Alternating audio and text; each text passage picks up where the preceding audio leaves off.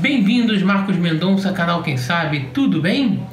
Vamos falar um pouquinho de inteligência artificial. Eu tenho alguns vídeos aqui no canal sobre inteligência artificial, inclusive com a Maria Luísa, presidente da CESPRO aqui no Rio de Janeiro, e a presidente, a CEO da Labs 245, e que é bastante interessante vocês ouvirem o que ela tem para comentar sobre tecnologia, sobre inteligência. Vou deixar um card no final desse vídeo para que vocês possam dar um pulinho lá, além de um outro vídeo também relacionado ao assunto. Mas hoje é, vamos falar um pouquinho mais de inteligência. Ah, sim, quase que esquecendo, gente. Olha só, comentem, compartilhem, dê aquele seu gostei, aquele seu likezinho. Oh, que eu não gostei de você, meu amigo. Mas, por favor, comente alguma coisa. Aqui é um canal pequeno e que precisa de muito apoio fácil-se desse canal pequeno ficar um pouquinho maior. Coisa assim, 0,0001, não precisa muita coisa. Importante que eu atenda e ajude vocês. E consiga passar uma opinião sobre determinados assuntos. Mas inteligência artificial.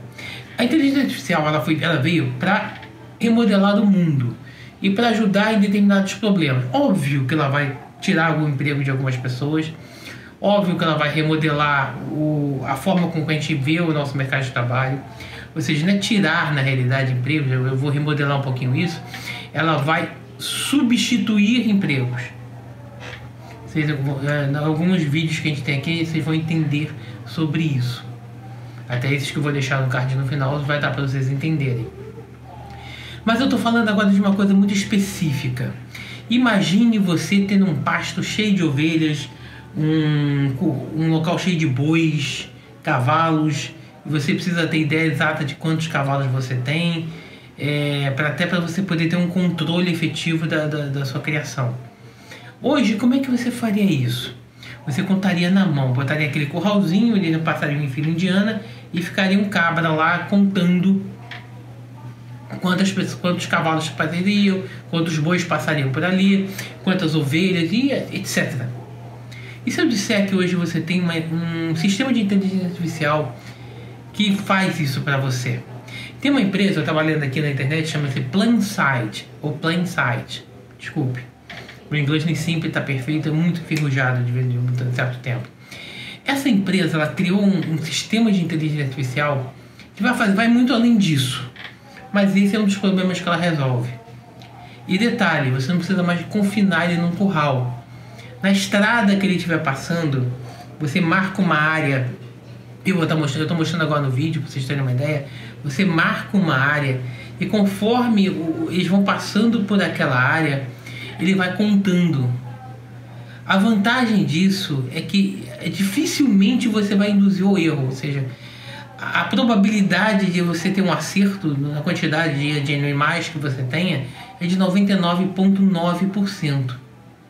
Mas vai um pouquinho mais além disso. Conforme vocês estão vendo no vídeo, vocês estão percebendo, ela pode trabalhar no chão de fábrica, verificando, por exemplo, o estado das peças, pode verificar se teu funcionário está tá vestindo corretamente um EPI, é, pode verificar N pode verificar um estacionamento de um shopping por uma atitude suspeita, por exemplo, a ser treinada para isso, né?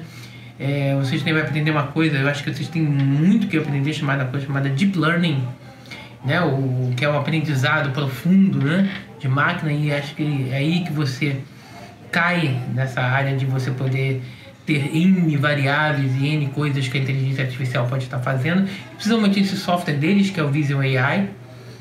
Então vocês é, volto a frisar, vou deixar na, na na descrição do vídeo aqui embaixo o site da empresa para que vocês possam olhar. Esse vídeo, inclusive, foi retirado do site da empresa para que pudesse mostrar para vocês algo um pouco mais contundente sobre o que essa inteligência artificial pode fazer. Aí vem uma questão. Eu não digo quanto aos bois, quanto aos cavalos, quanto às ovelhas, ou até mesmo para determinados outros tipos de assunto. Mas eu digo também em relação a uma outra coisa eu digo em relação à privacidade. No momento que você está checando na sua fábrica se o cara está com EPI ou não, tudo bem, você está relacionando aí a questão de segurança. Eu acho isso válido, eu acho isso muito pertinente.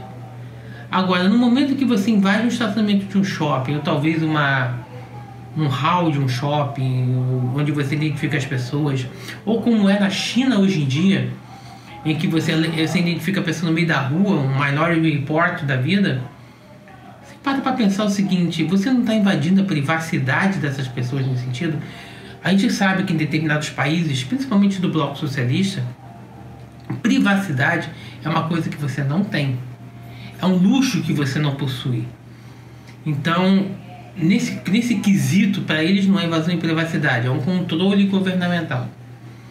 No nosso caso, que estamos acostumados com um pouco mais de liberdade do que esses países, eu, e temos agora, por exemplo, a LGPD da vida, né? a Lei Geral de Proteção de Dados, que é a mesma que surgiu lá na Europa, com algumas modificações, mas é a mesma que surgiu na Europa.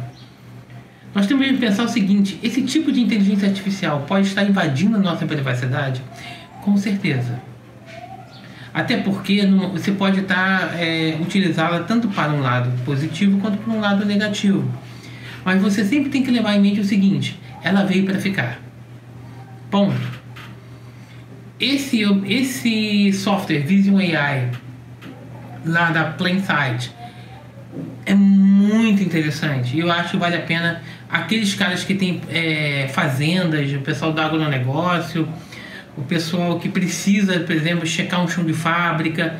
Eu acho perfeito, maravilhoso. Extrapolar um pouco isso, talvez eu ache um pouco mais uma invasão de privacidade. Talvez, como eu falei, que estacionamento do shopping pode ser interessante. E como também tem uma, uma função desse software também, que eu esqueci de comentar, é que ele pode checar determinados tipos de maquinário. Você disser, por exemplo, quando você trocou determinada peça, ele começar a checar, ó, essa peça aqui já está no seu limite de uso, né? E ele já revisar, por exemplo, através de inteligência artificial, está na hora de você dar uma checada nisso, ou até mesmo ele ficar monitorando as máquinas de, de, de chão de fábrica para saber se o funcionamento está dentro do padrão correto. E se tiver alguma coisa fora de linha, ele já avisar o funcionário ou avisar a direção da empresa que aquela máquina ali pode, pode ocorrer um acidente. É um outro, é um outro é, vertente bastante interessante dentro desse tipo de modelo de software. E, gente, cara, pode a sua imaginação é o limite. A gente brincava antigamente que o céu era o limite. E para a inteligência artificial, eu acredito que o céu não é o limite. O céu é apenas uma etapa. Eu acho que é, é como, se, é como se fosse um universo, que está em constante expansão. E eu não acredito em retração nesse, nesse modelo de inteligência artificial. Eu acredito numa realmente constante expansão. E eu fico com vocês agora para vocês pararem para pensar em que no mercado de vocês, no mercado de trabalho de vocês, ou na empresa de vocês, ou no seu ecossistema de negócios, ou na sua vida, você veria uma, uma tendência à implementação de uma, uma inteligência artificial no modelo desse Vision AI lá da Plainsight, ou é alguma coisa que vocês possam pensar adiante que possa ser um modelo viável. Parem e pensem. Se quiserem, comentem. É interessante ouvir vocês. Eu sempre respondo, tá? Eu aviso a vocês. Todo comentário eu respondo. E a gente troca ideias, isso que é importante. Não é só comentar, oi, obrigado, valeu. A gente troca ideias.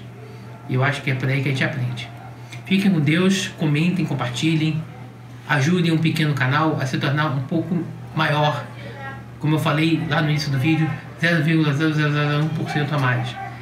Todo a mais, a gente alcança mais pessoas e ajuda mais gente. Valeu! Tchau, tchau. Fiquem com Deus.